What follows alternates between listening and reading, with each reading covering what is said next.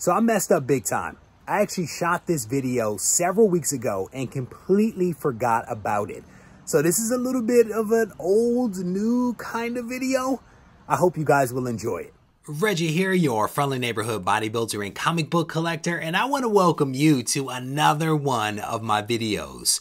So this weekend, my sister was actually here at the house and she stepped up. She stepped up big time and she took care of my kids which allowed me and the wife to kind of do some things that we wanted to do. Uh, we did some things together and we also did some things separately. You already know what it was that I did. I took some time to go through parts of the 100K collection and I actually found some pretty awesome books. Some obscure books in some respects that I'm actually going to show you guys in this video. And I want to encourage you to stay tuned because I'm actually going to give you an opportunity to pick up an awesome set of books from my friends over at Skybound, so stay tuned for that.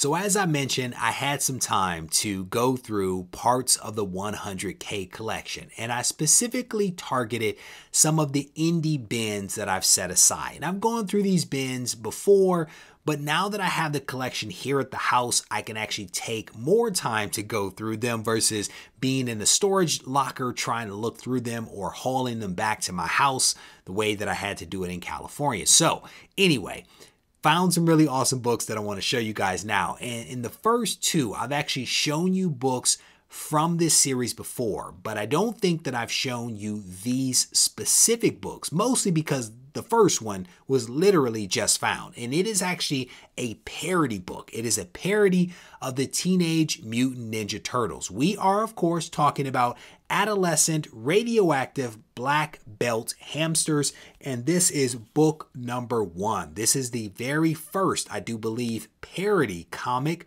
of the Teenage Mutant Ninja Turtles. Really, really clean copy of this book. I felt like this was a book that should have been in the collection, but again, literally just found it this weekend. So definitely pleased about that. And uh, here is book number two. And I have a feeling I may have shown this one in a previous video or at least talked about the title in a previous video. So again, just here's here's number two. I found this with the number one, so I went it went ahead and just showed you both of them. Uh, this next one is a really cool book. It's a book that I've actually seen a lot and I felt like I should have it in the collection. And then I actually found, I want to say, three copies of this book. And this is actually a cameo appearance of Grimjack. And you guys remember a few months ago, I was talking about Grimjack. Here is the cameo appearance in Warp, issue number one. And this is actually uh, from First Comics. Really cool cover right here. Uh, definitely pleased to have found this book in the collection. There's all these rumors about Grimjack possibly being turned into either a movie or a TV show. Who knows whether any of that's going to happen? But if it does, if it does happen, I am in a good position with a lot of the Grim Jack keys, including his uh, his run. He had a, a title back in the day uh, named after him that I actually do have in the collection. Uh, so this next one uh, is a really cool book. This is actually the first published work by Dale Keown. This is the first, I want to say, interior and possibly cover, but I, I may have gotten the cover wrong. I do know the interiors by him for certain. This is Samurai issue number 13 right there. And uh, Dale Keown has a special place in my heart because he actually did uh, Incredible Hulk back in the day. I have a signed copy of, of a Hulk book that he did. He also is the creator behind Pitt, which is a title that I absolutely love. So I was I was ecstatic to have found this book right here, Samurai issue number 13 in the collection, uh, featuring his first published work. And I think it's Aircel. I think it's the name of the uh, the publisher, Aircel. I think that's how you pronounce it. I could be wrong. Somebody will probably correct me if I'm uh, off by that. This next one, uh, this was actually inspired by Pretty Fly for a Filipino Guy who sent me a couple of messages about this book and about the character who has a first appearance in this book. Uh, this is Superman Adventure. Uh, I don't even know what issue this is. Uh, I'm not sure what issue this is. It doesn't actually say, or at least I'm not seeing it. Um, either way, this is the first appearance of Cir-El. I think that's how you say her name. The Supergirl Cir-El. Um, does that sound familiar? I don't know. I think that's it. But really cool book. I actually found two copies of this in the collection one bagged and boarded and one not so definitely pleased to have found this one really cool black cover and um, even the one that wasn't bagged and boarded is actually in pretty good shape which is which is kind of nice so this next thing is not a book it's actually not a book i saw it in the collection and i was excited i was excited because i thought it was a set of uncut marvel cards and um it's not. It's actually a flyer. but I was super excited because it's Wolverine. And I was like, oh my goodness, it is a set of uncut cards. No, it's not. It's actually just a, a flyer. But the cards are really cool, nevertheless. It's, it's a cool flyer. Caught my attention. Um, this next thing is just awesome. if you were a computer person back in the day, you might get a kick out of this. This is a floppy for America's Online, AOL. Uh, and it came out from Wizard. Wizard must have distributed this in one of their magazines back in the day because a lot of the Wizards were polybagged. And uh, my guess is that this was inserted into one of those Wizard comics. When was the last time you saw a floppy disk, much less an AOL floppy disk? Uh, the next two things I, I pulled out just because I thought that they were cool. Here is an ash can of Star Trek Deep Space Nine. I was a huge fan of this show back in the day, Odo and Sisko.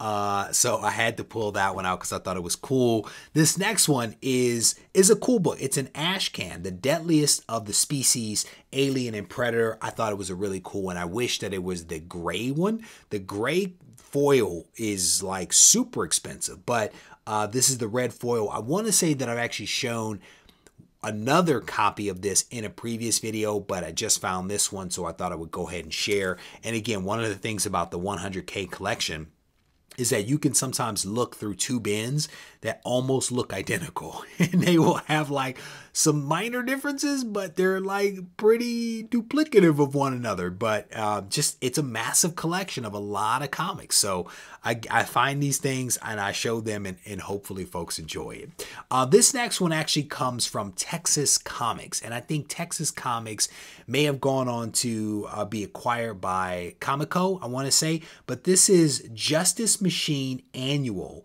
number one. And this is a really cool cover. I dig this cover. It's yellow, but it also has some Nazi stuff on it. So I'm a, I kind of like those books for whatever reason, and I kind of set them aside whenever I can. Uh, but this is the first appearance of the Elementals. And again, um, Texas Comics, I don't think that they produce books for that long of a period, but really cool book. I have not yet read this, but I, I do have several copies of this in the collection. Just really cool. So wanted to make sure that I shared that one. Uh, Eclipse Monthly. Eclipse Monthly is the next one. This is issue number one. And this one is really cool because it is the first appearance of Static. And uh, Static is a character right here that was actually created by Steve Ditko. And I want to say uh, I don't. I think this cover was actually done by Steve Ditko, and there is a story in here of Static that's also done by Steve Ditko, and uh, it actually looks pretty interesting. I'm actually thinking about reading this one because it looked interesting as I was flipping through it. It's like Static is a guy that wears this exterior suit of armor that does some stuff. So I'm actually thinking about reading this one. Uh, but Steve Ditko is super dope. And so I wanted to make sure that I showed you guys that one right there. And I, have shown you, I want to say it was a miniature version of the collected stories for uh, Static, but this is the first appearance, and that's what makes this one really awesome to have found in the collection. Uh, next up, this is a little, a little, a little morbid maybe, but it is a Dave Stevens cover, so I had to show this one. Uh, this is Crossfire issue number 12. Again, covered by Dave Stevens. This is supposed to be Marilyn Monroe, a deceased Marilyn Monroe, and it is a gorgeous depiction of her. Really, really cool book. Um, this was found in a, a box And as I was counting down from like 1 to 12, there was no 12 and there was like a 13 and like a 15 and I kept flipping and ended up finding in the back of the that bin issue number 12 and uh, very thankful that I found this one because this is this is a really really cool comic. And then the very last book that I'm going to show you, there's actually two copies of it.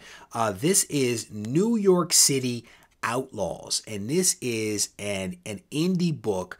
Uh, I think it might have been a little bit of a, an underground book as well. These from what I understand, are pretty hard to find. But this is New York City Outlaws issue number four right here. And uh, this was inspired by the movie, the Warriors movie, I think it was called. I've never seen the movie, but it was inspired by that. It is a New York City vigilante gang. And uh, I want to say there's only five issues of this.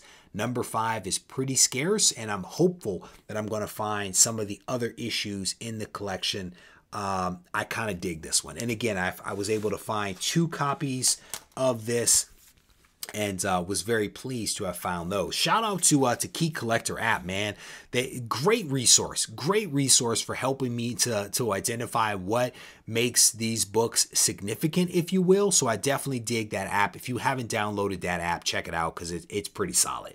And uh, as I mentioned at the top of uh, of this video, I want to give you guys an opportunity to actually win a pretty cool book of your own. Technically, two books, kind of sorta.